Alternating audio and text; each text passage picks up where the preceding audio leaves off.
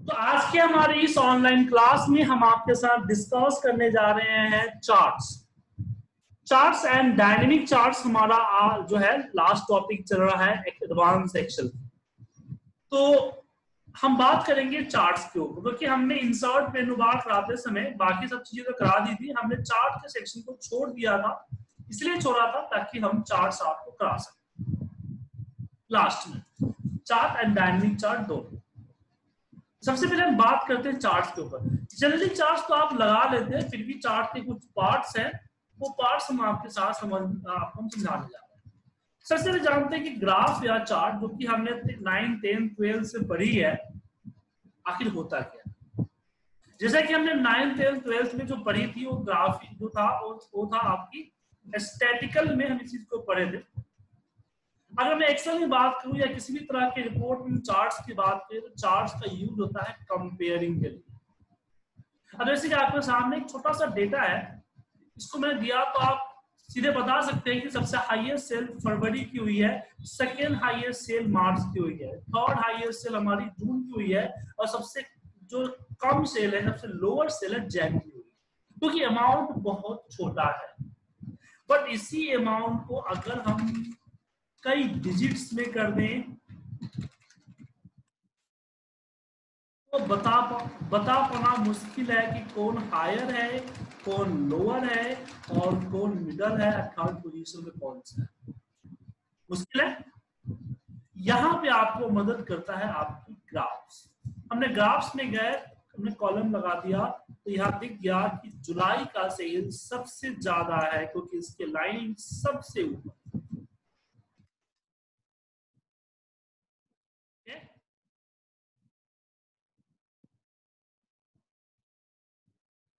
तो चार्ट का यूज़ हम इसी चीज़ के लिए करते हैं। अब चलिए चार्ट के बेसिक एक स्ट्रक्चर को समझते हैं। देखिए चार्ट दो तरह का होता है। एक होता है एम्बेड चार्ट दूसरा होता है सीट चार्ट चार्ट सीट्स तो इसमें आपको दिख रहा है, वो इसको बोलते हैं एम्बेड मतलब कि ऑब्जेक्ट की तरह किसी सीट पे है और उसको इजिली मूव किया जा सकता है। देखिए इसको सिलेक्ट करके अगर मैं F11 प्रेस कर दूँ एक नई सीट में चार्ट ऐड होगा, जो कि सीट चार्ट होगा, इसको हम मूव नहीं कर सकते चार्ट बट एक सीट के ऊपर है चार्ट वन के नाम से नई सीट ऐड होगी। इसके हमने क्या किया? एफ़ बाद में बात करते हैं हम पहले एम्बल चार्ट पे बात करते हैं। अब इसकी चार्ट की प्रॉपर्टी की हम बात करें तो इसमें आप देखना हैं ये आपका जो है चार्ट एरिया है, ये आपका प्लॉट एरिया है, ये आपका सीरीज़ है, ये आपका एक्सिस है दोनों। उसके बाद ये आपके जो है फिल्टर्स है। सबसे पहले है एलिमेंट कुछ एलिमेंट ऐड करना चाहता हूँ जैसे मैं एक्सिस का टाइटल ऐड करना चाहता हूँ, या फिर डेटा लेवल ऐड करना चाहता हूँ, या डेटा टेबल ऐड करना चाहता हूँ, या एरर बार ऐड करना चाहता हूँ, या लेजेंड ऐड करना चाहता हूँ डेडलाइन ऐड करना चाहता हूँ तो मैं यहाँ से इसको ऐड कर सकता हूँ। दूसरा आता है फॉर्मेट फॉर्मेट कि एक चार्ट किस तरह से दिखना चाहिए? इस तरह से दिखना चाहिए या ये दिखना चाहिए या ये पूरे फॉर्मेट आप देख करवा इसमें ज़्यादा फॉर्मेट आपको मिलेगा ऊपर चार्ट डिज़ाइन पे क्लिक कीजिएगा। ये देखिए, यहाँ पे इतने सारे फॉर्मेट इसको अप्लाई कर सकते हो। तीसरा होता है फ़िल्टर जैसे कि मैं चाहता हूँ कि फरवरी, मार्च, अप्रैल, तीन सेल का तीन मंथ का डेटा मैं चार्ट पे विजुअल ना करूँ। पर मुझे डेटा को हाइड करने की ज़रूरत नहीं। तो कैसे करेंगे? यहाँ फ़िल्टर पे यूज़ करेंगे कि मैं यहाँ पे फैब का डेटा मार्च का डेटा और अप्रैल का डेटा को अनचेक कर एंड इसको अप्लाई कीजिए, यहाँ से हट जाए। वापस लाना है क्लिक कीजिए एंड अप्लाई कीजिए, यहाँ पे वापस आ जाएगा। तो ये चार्ट का था। अब चार्ट की जैसे हमने बताया आपको कि फॉर्मेटिंग के बारे में हमने बात कर ली। चार्ट डिज़ाइन में यहाँ फॉर्मेटिंग है, इसकी बात कर ली।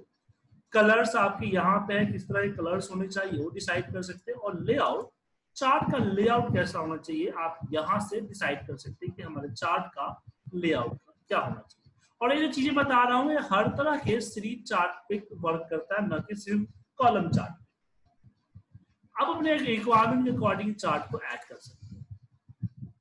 अब बात करते हैं फॉर्मेटिंग की। कि अगर आप इंडिविजुअल सबकी फॉर्मेट करना चाहते हैं, जैसे आपने इसको सेलेक्ट किया या आपका क्या है? चार्ट एरिया है। मैं राइट क्लिक करके अगर यहाँ फॉर्मेट चार्ट एरिया पे क्लिक किया तो साइड में हमारे पास जो है चार्ट एरिया का दिख गया इसमें फिल आप अपने नो कोई कलर नहीं डालना चाहते सॉलिड कलर कोई डालना चाहते हैं कलर यहाँ से चूज़ कर लीजिए, कौन सा कलर डालना चाहते, कैसा कलर डालना चाहते यू कैन आप यहाँ डिसाइड कर सकते या उसकी ट्रांसपेरेंसी कितनी होनी चाहिए, वो सेट कर सकते गिरलैंड फील मतलब दो कलरों का मिक्सअप कितना होना चाहिए और कलर का मिक्सअप क्या, कितना परसेंट यहाँ पे। दो जो दो कलर हमने डिसाइड किया और दो कलर कौन सा होना चाहिए, आप यहाँ से डिस्कस कर सकते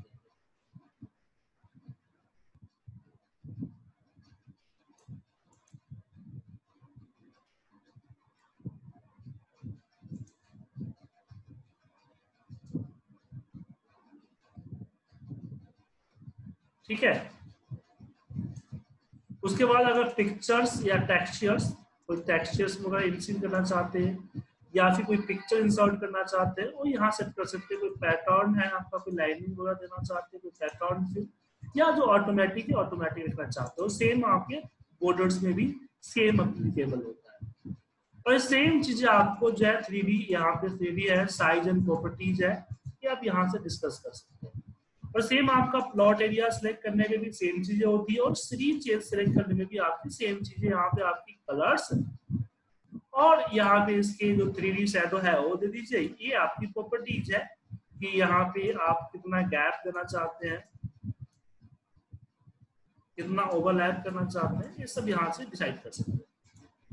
इन चीज़ों पे हम आएँगे आगे भी। फ़िलहाल इस सबसे हटते हैं और हम बात करते हैं कुछ चार्ट के तरीके से जैसे कि आ, मैं यहाँ पे हटा देता हूँ थोड़ा सा फ़ोटो डेटा दे देता हूँ।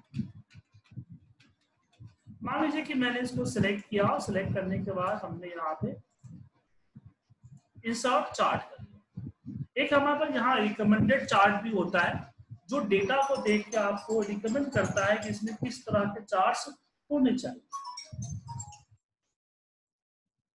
ठीक है?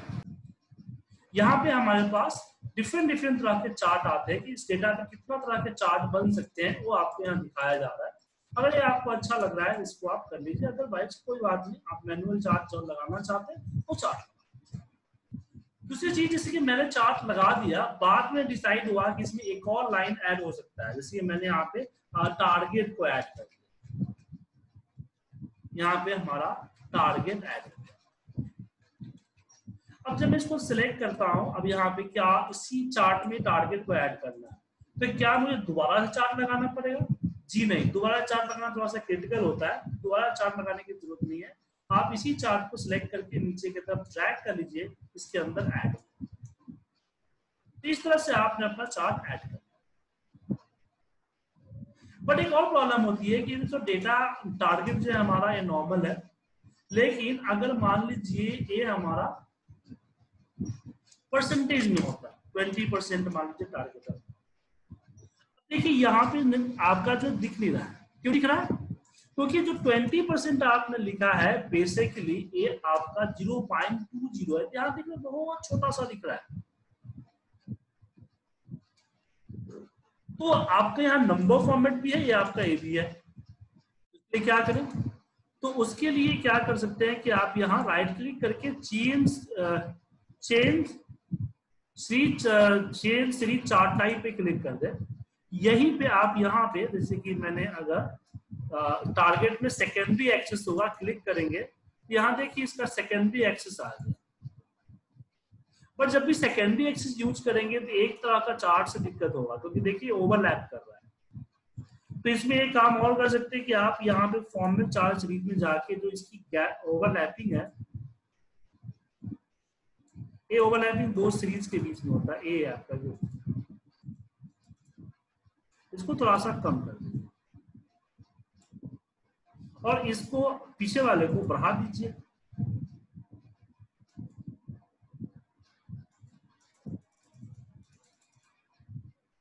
ठीक है? अब अच्छा दिख रहा है ना, सर? या फिर इसको एक काम और कर सकते हैं चेन सीरीज़ चार्ट टाइप में जाके इसको आप जो है लाइन चार्ट में कन्वर्ट कर दीजिए ये आपका लाइन चार्ट में हो जाएगा। अब इस इससे एक चीज़ और आप सीख सकते हैं कि क्या हम एक ही दो तरह के चार्ट इस्तेमाल कर सकते हैं? और मान लीजिए किसी सीरीज़ को दो अल, एक अलग फॉर्मेट में करना हो तो कैसे करेंगे?